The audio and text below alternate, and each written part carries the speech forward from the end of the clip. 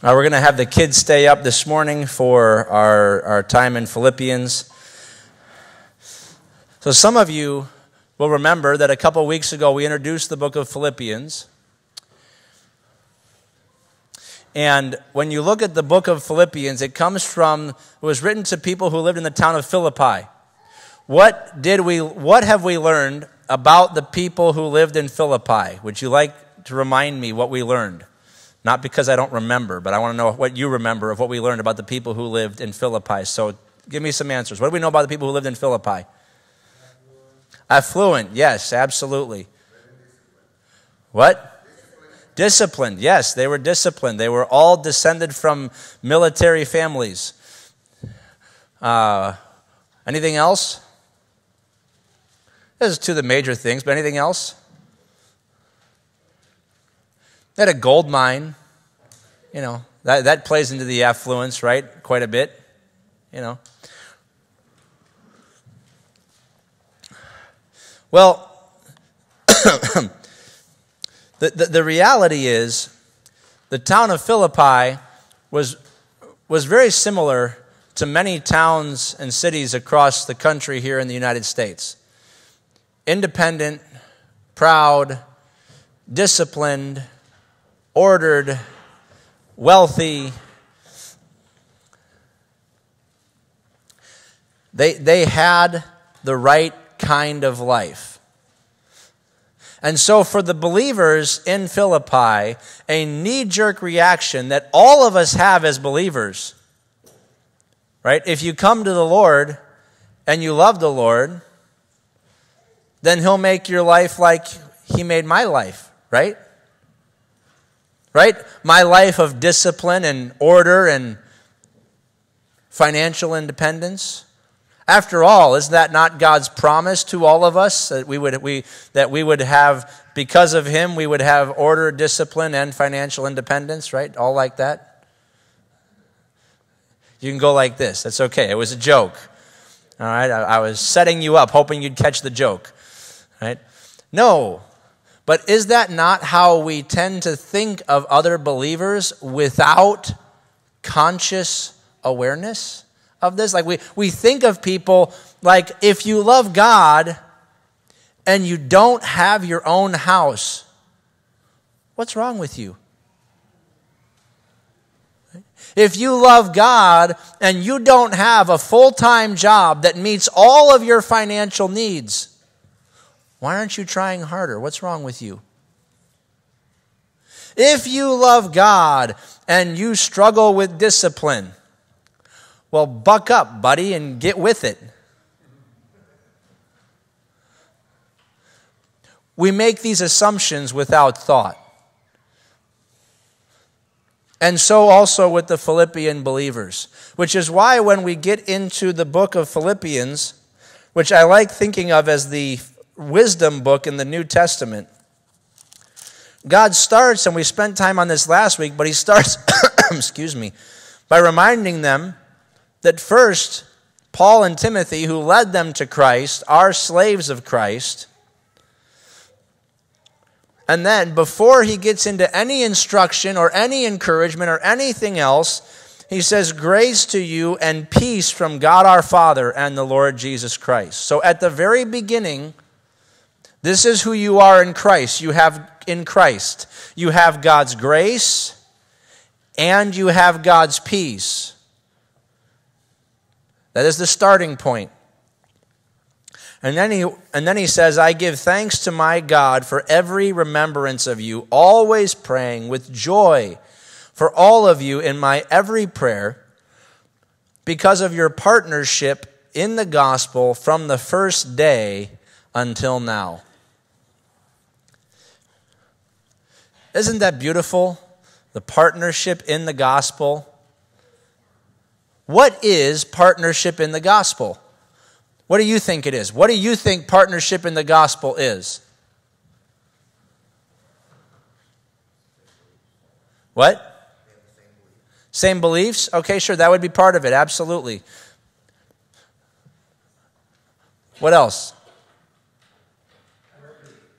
What?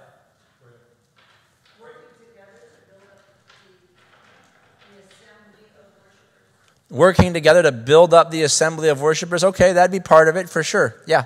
Yeah, just uh, taking part of sharing what God said, go out and disciple other people. Yeah, discipling other people.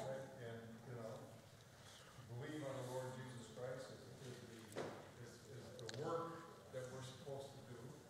Yep. Teach that as we go along, believe on the Lord Jesus Christ. Yep. That is the work of God, not, uh, not mega, mega block financing type stuff, but, uh, so that's what I said, doing the work of the gospel, you are, you're looking for, uh, taking care of the needs of widows and orphans and, and, uh, people that are up Right? against Caring for the needs of the widows and the orphans, absolutely. You know, you know, one thing that I'm surprised nobody here mentioned, given our American culture, is financial support of those who are giving the gospel. That's part of partnering with the gospel, isn't it? I would hope so. Otherwise, our missions programs are a giant waste. And so here we have in the in the Philippian church, we have people who are yes, they're they're actively discipling. Yes, they're building up the church. Yes, they are they are working with Paul with the same belief in the gospel. Absolutely. They're also supporting Paul as he goes to give the gospel. After all, is that not one of the great benefits of living in an affluent society? Where you all have a little bit extra money. Well, maybe not all, but most of you have a little bit extra that you could do something with. And so you decide because you love God that you give it to the Lord. You give it to those who are partnering with the Lord, going forward with the gospel. You can go like this. It's okay. Yes. You might be thinking to yourself, yeah, but I just only give five bucks when I can. I mean, that's not much. But you're still partnering with the gospel. Amen? Right? You're partnering with the gospel. And so Paul has the privilege of being thankful every time he remembers the believers in Philippi. Now, I've got to ask an important question here. Are the believers in Philippi the ideal Christian church? There is no such thing. Thank you. Somebody knew that somebody caught the trick question. There is no ideal Christian church. So they had problems at their church. They were not perfect people. So, given the fact that they had problems, that Paul gets to, over the book of Philippians, address some of those problems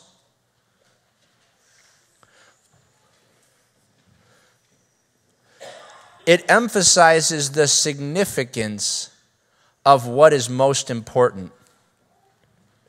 You see, the Philippian church was excited about the gospel. They loved the gospel. They were, they were part of making disciples, helping others to make disciples, aka Paul and Silas, or Paul and Timothy here, excuse me right? They were they were partnering with paul in multiple ways for the future for the benefit of the gospel. And so because of the big picture that they were in agreement and moving forward together paul looks at them and he says every time i think of you it brings thankfulness to my heart I read, I'm always praying with joy, not heaviness.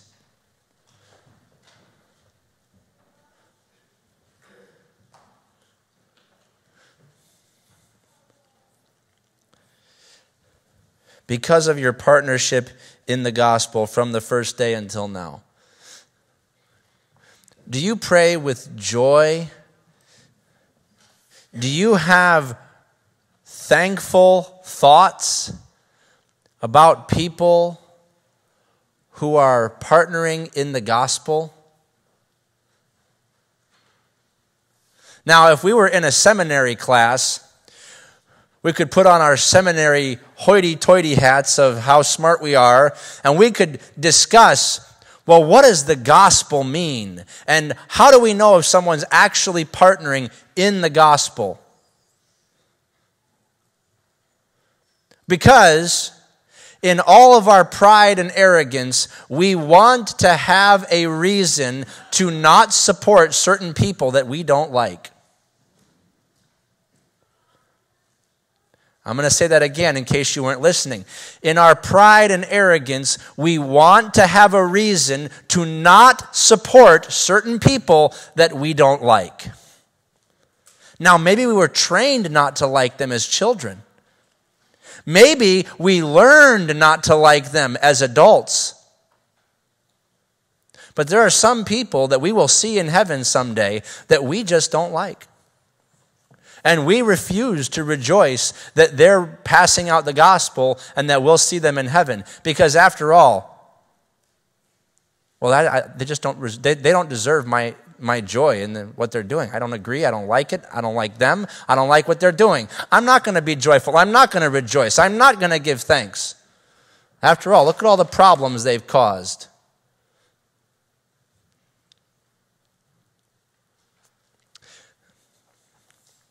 as if to say, I haven't caused any problems in the gospel. No one would ever be offended from the gospel because of me. After all, look at how flawless my life is. I know. You're all sitting there going, ha ha ha, that's funny. but is that not our attitude about certain people that we don't want to rejoice with? We have no interest in whether or not they're actually giving out the gospel. We're not listening to the words that they say. We've already determined that we don't like them, that they will not bring us joy, and that we will not be joyful when they have good news about the gospel. After all, if someone comes to the Lord through them, it was just luck. I mean, come on, right? Every, every once in a while, a blind squirrel finds a nut, obviously. So, you know, And yet, here, Paul, knowing that the Philippians are not a perfect church, knowing that they have problems that he's going to be addressing, lets them know that because of the gospel, not because of their perfect theology, not because of their excellent church patterns of behavior, not because of how fantastic they are at being great Baptists. I mean, obviously, they were Baptists in Philippi, if they're getting praise, clearly, right? Because you only get that if you're Baptist.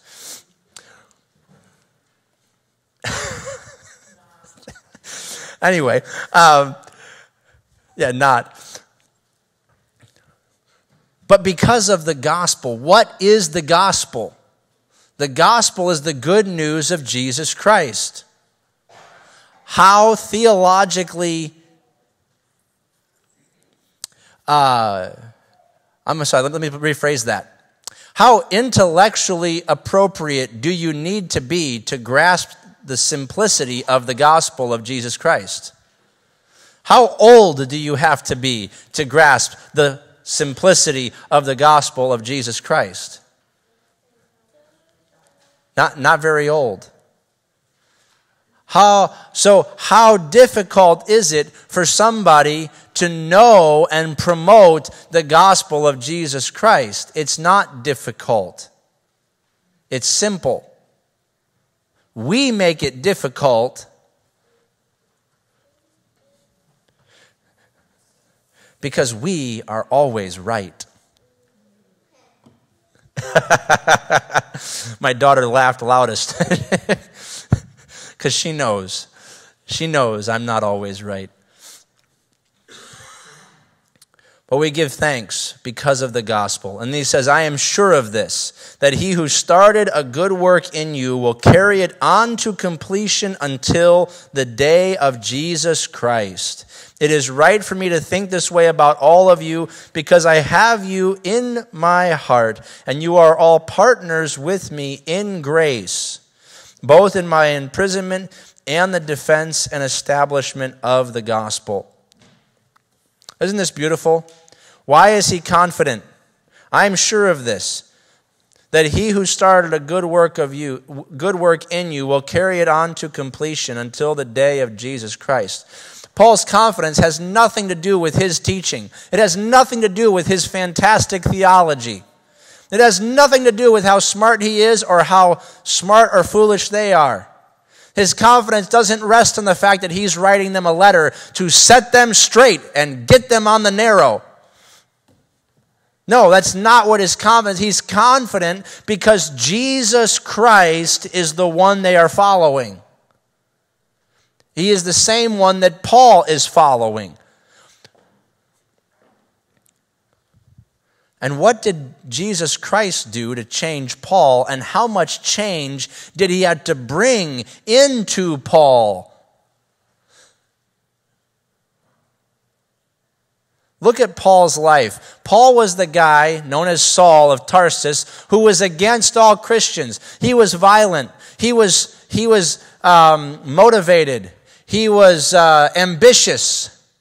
And he was rising to the top in the Jewish hierarchy of, of importance. And he had, he had letters from the chief priests to go and to drag believers out of their homes, to force them into quote unquote blasphemy by calling Jesus Lord, so that he could stone them and throw them in prison.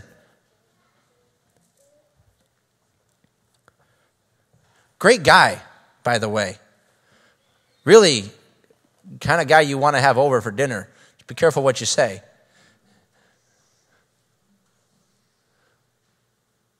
How much work did God have to do to make Saul the person who was going to point people who had no interest in the gospel, who had never heard of Christ, to say, There is one God? Like he said on Mars Hill, right? When he said, You have an altar to the unknown God, I'm here to declare him to you. He's the one who created heaven and earth. And he goes on to explain that this God sent his son to die for our sins, and at that he was mocked.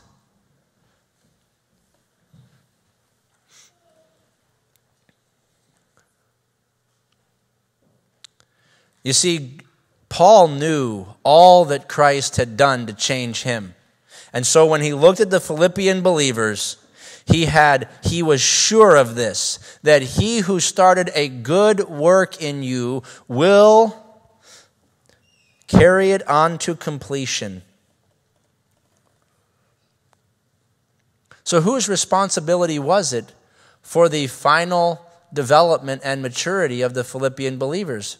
Was it paul is that why he wrote this letter? Because he was the one responsible that they know all the right answers, that they have all the Sunday school answers for every question they could ever get about the Bible, and that they have that their that their logic is ironclad and foolproof because that's the only way. No, he was saying that because of what God had done in his life, because the work of Jesus Christ happening and ongoing in his life that he could look at these believers in whatever state of maturity that they found themselves and say that I'm confident that he who began a good work in you will carry it on to completion. Not because I'm there, not because I can give you all the answers, not because you can depend on me. No, but because I'm being changed and molded by the same one who's still at work in me. So I know He's going to carry on His work in you.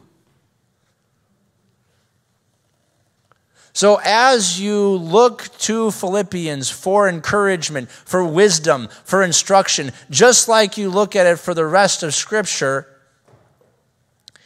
the work in you is the job of the one who saved you.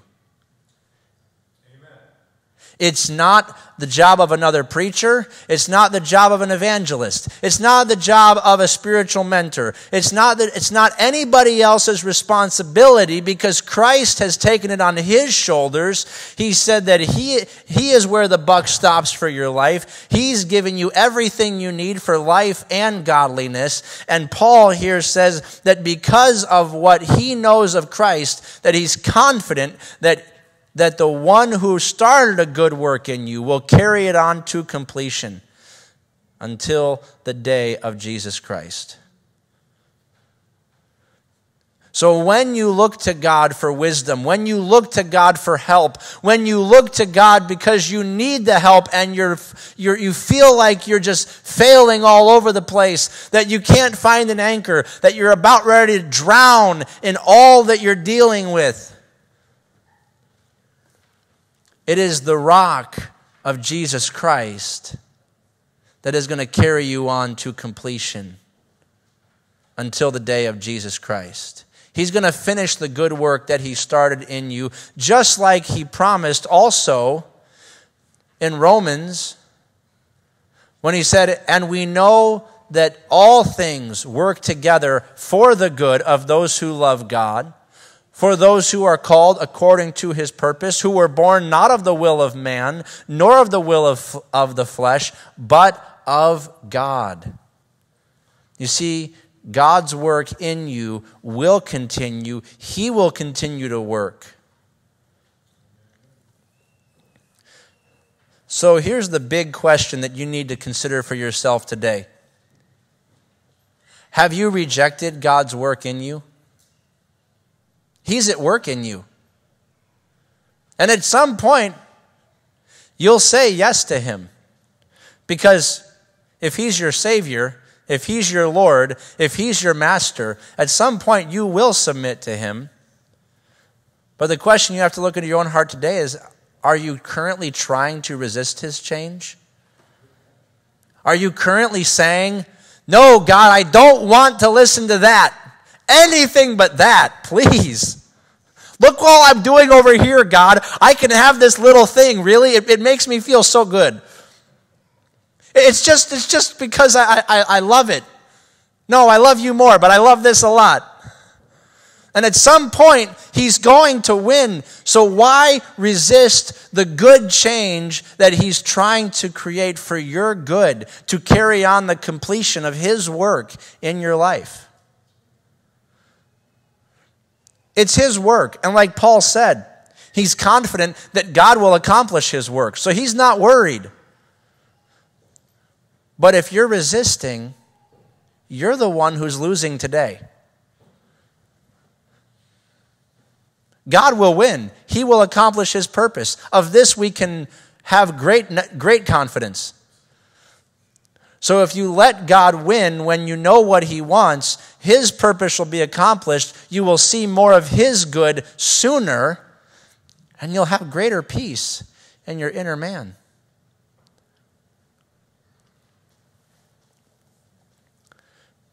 But I'm glad we can state with Paul that for those of us who are, as best as we know, submitting to the work of the Spirit, that we can say as we look around that I am sure of this, that he who started a good work in you will carry it on to completion.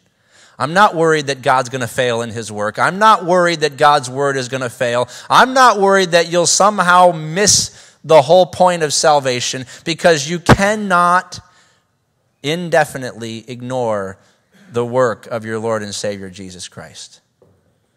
So submit to him this morning if you haven't been and you'll find the joy and rejoicing that His Spirit brings. Because He's going to win anyway. Let's pray. Heavenly Father, thank you for the power of your truth. Thank you for the joy we have to look at your truth. And Lord, thank you that, that we have such confidence in your work. Lord, you have already won the battle. Lord, the, the, your, the victory is yours.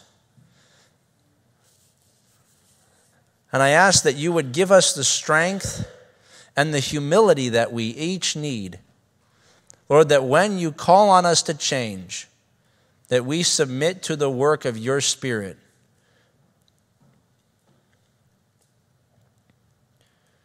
And do not keep fighting you, thinking that somehow our way is better.